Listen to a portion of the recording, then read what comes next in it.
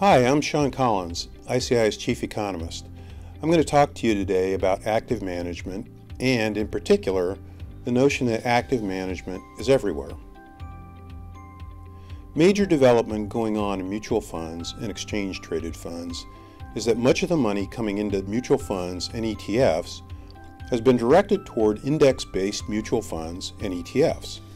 But what you may not know about this shift from actively managed to index based funds is that active management is everywhere.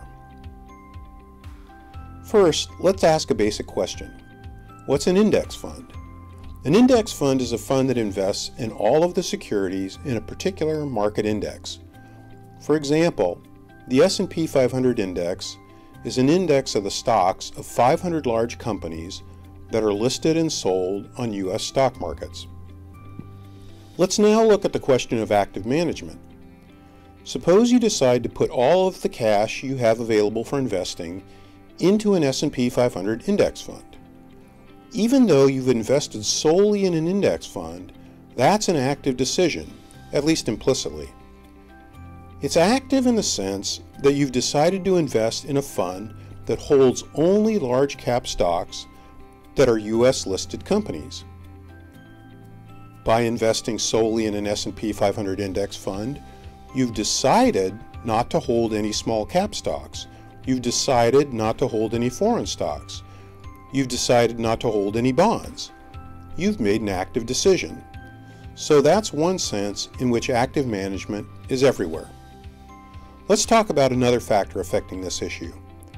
There's been a shift from active management inside funds to active management outside of funds. This development also is part of the shift to index funds. What do I mean? Let me give you an example. Let's look at an actively managed mutual fund. We'll call it Fund A. The fund has a portfolio manager who buys and sells securities for the fund. Let's say stock X and stock Y and who decides how to allocate the fund's assets between stocks X and Y.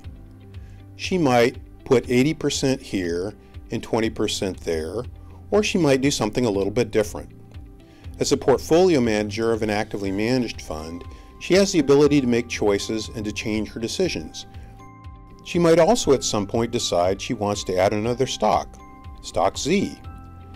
And she might decide that she wants to add a bond. Let's call it bond Q. To do this, she might sell some combination of stock X or stock Y. That's active management inside of a mutual fund. Now suppose that we have three index funds. They could be mutual funds or exchange traded funds, also known as ETFs. Let's call them funds E, F, and G. Let's say you decide to invest all of your cash in those index funds in some proportion. Suppose you decide, like many people, to hire a financial professional to help you manage the assets inside your portfolio of index funds. The financial professional, who doesn't have anything to do with the management of those index funds, is in effect providing active management for you by helping you build and manage your portfolio. This professional, for example, might help you choose an initial asset allocation.